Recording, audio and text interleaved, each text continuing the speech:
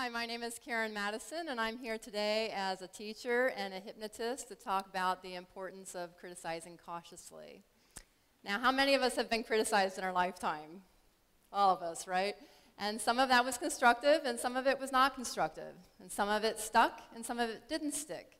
And if you think about all of the criticism that we receive in our lifetime, why does some of it stick and some of it doesn't? Well, it depends on whether it goes into the subconscious mind.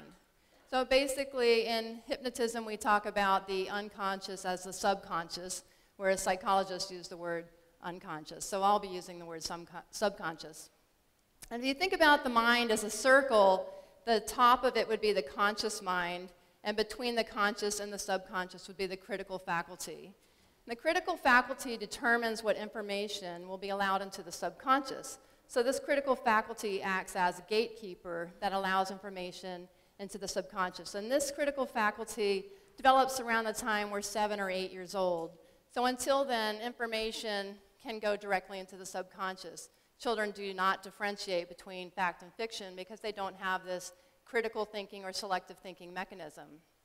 And so information that is given to a child will go directly into the subconscious. And after that, things that are not in alignment with our beliefs and values will be bounced out by this gatekeeper.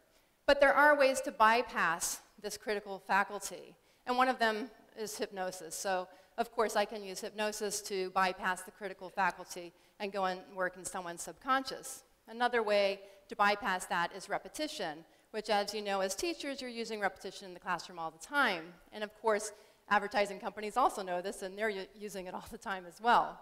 But three other ones that you may not be aware of are authority figures, peer groups, and heightened emotion. And all three of these are also present in the classroom.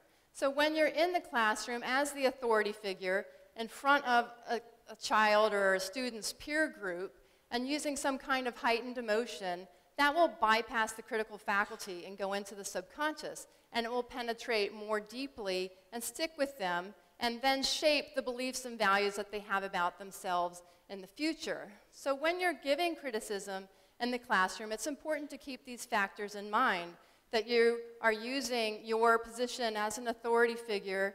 If you are criticizing someone in front of their peer group, and that brings on perhaps shame, which is a very powerful emotion, this information will go directly into their subconscious and be stored there. And many of us are perhaps not aware of how impactful that is, much more so than a child being criticized at home.